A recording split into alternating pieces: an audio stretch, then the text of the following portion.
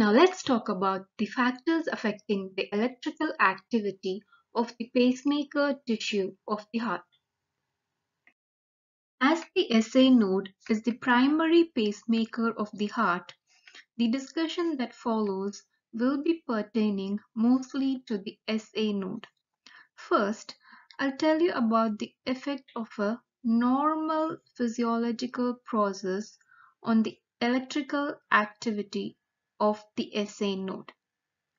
Left as it is, without any external innervation, the SA node is capable of generating 100 to 110 action potentials in a minute, thereby keeping the heart rate at the rate of 100 to 110 beats in a minute.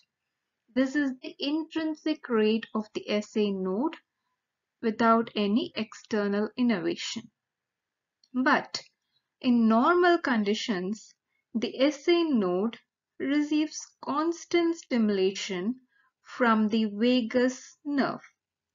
Due to the effect of the normal vagal activity, the action potentials are brought down to 60 to 110 action potentials in a minute and therefore the heart rate normally stays at the rate of 60 to 100 beats in a minute. This is the effect of normal vagal activity on the SA node and this is a normal physiological activity that keeps the heart rate at the rate of 60 to 100 beats in a minute instead of its intrinsic rate. You know that the normal vagal activity keeps the heart rate in check.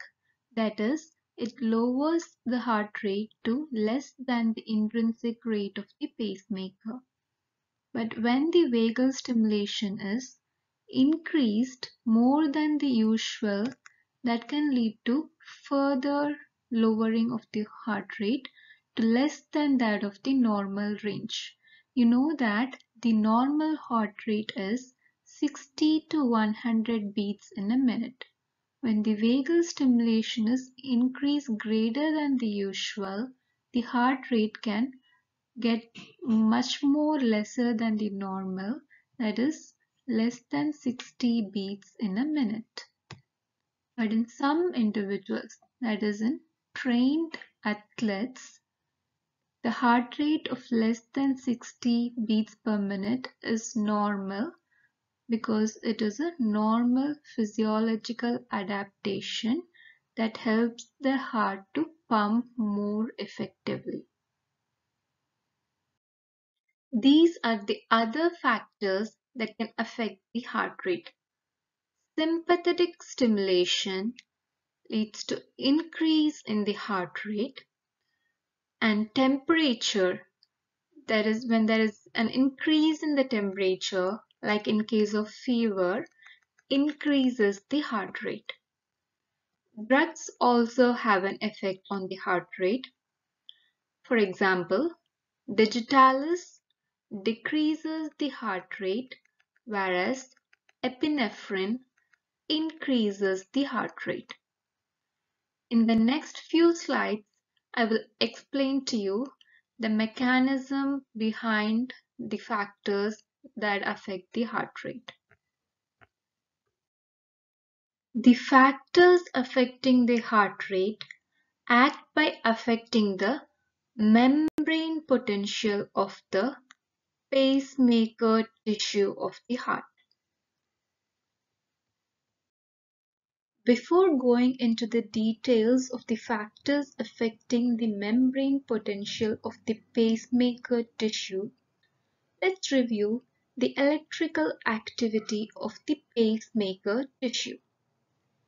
If you haven't watched it already, please click on the video link above to watch my previous video explaining the electrical activity of the pacemaker tissue and its ionic basis.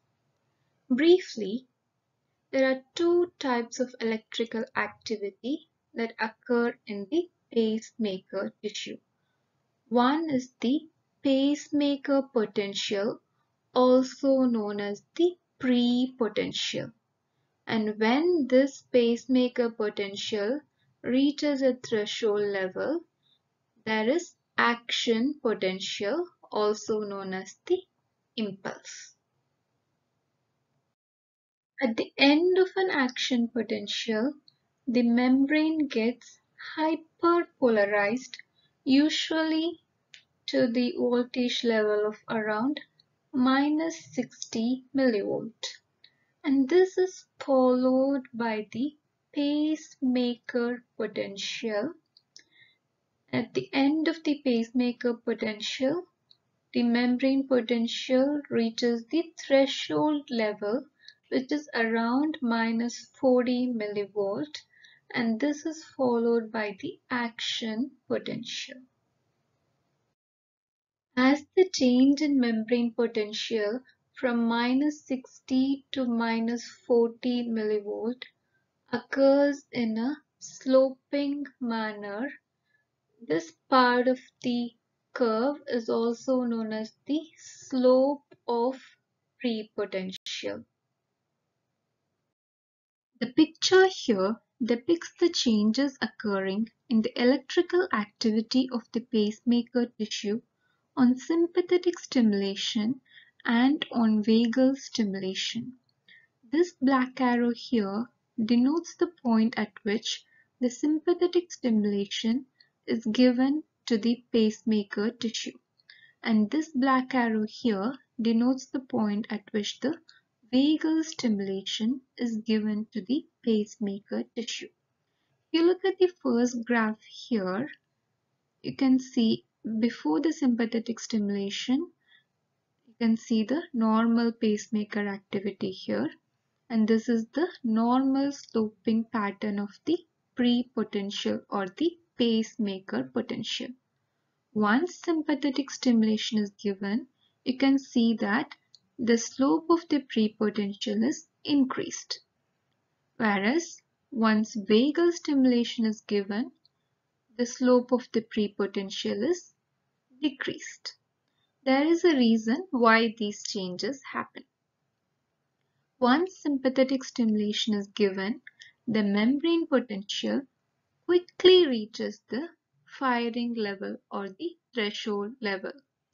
This leads to more number of impulses or action potentials in a minute.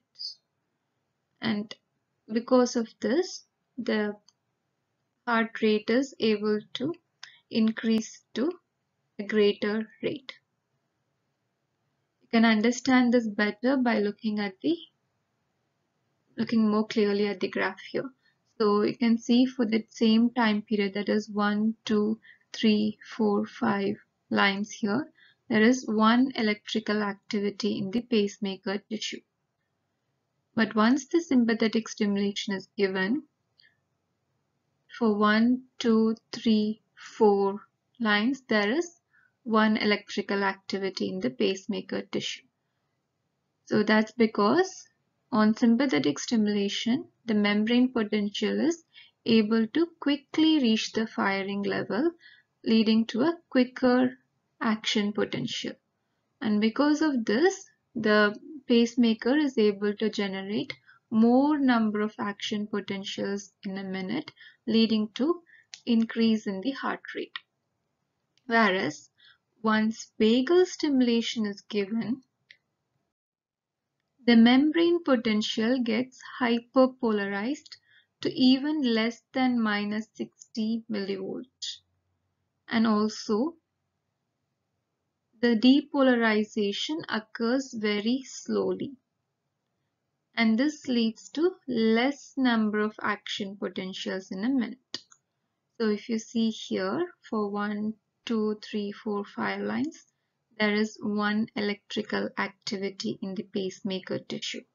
Whereas once vagal stimulation is given, 1, 2, 3, 4, 5, 6, 7, 8, 9, almost 10 lines, there is one electrical activity.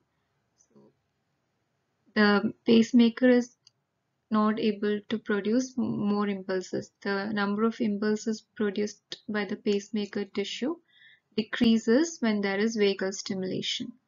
So the heart rate is therefore decreased. The ionic basis of the changes occurring due to vagal stimulation is as follows.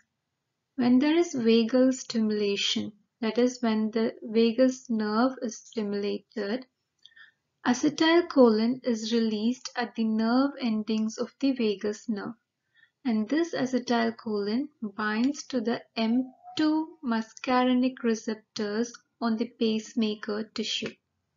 And that leads to opening of a special set of potassium channels. And then there is increase in the potassium conductance of the pacemaker tissue through these channels that is the potassium ions go out of the pacemaker cells. This leads to loss of positive ions leading to the hyperpolarization of the membrane.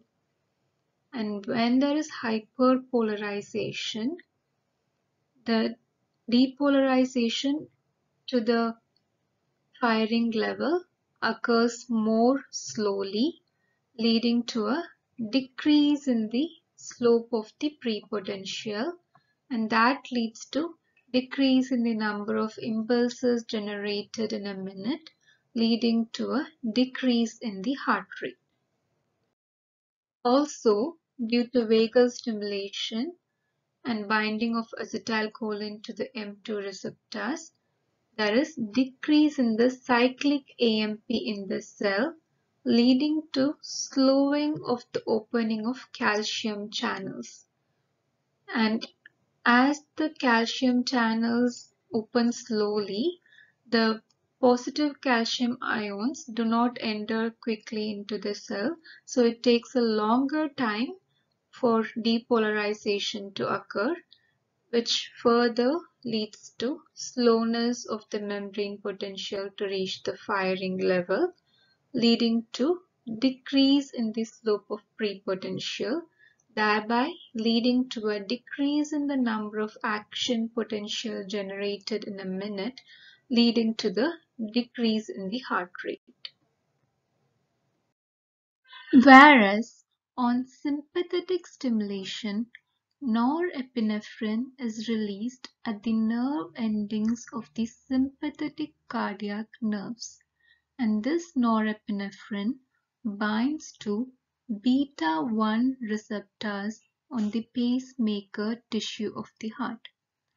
And that further leads to increase in the cyclic AMP in the cell and that then facilitates the opening of L-type calcium channels leading to rapid depolarization of the membrane.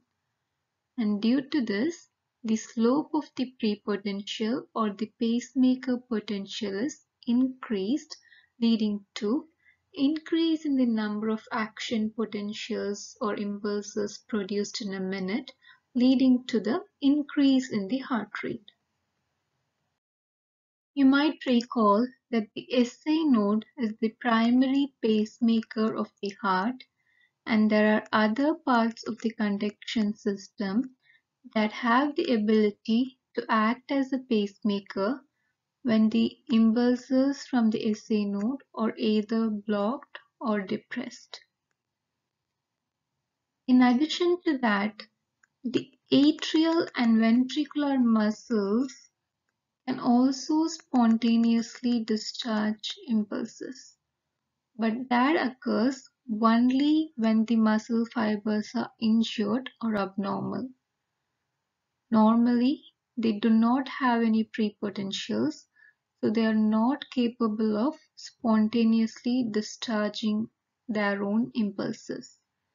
But they can discharge spontaneously when they are injured or abnormal. Thanks for watching. If you found this video to be helpful, please consider subscribing to support the channel. And if you have any questions, feedback, or topics that you would like me to cover, Please let me know that in the comments below. See you next time.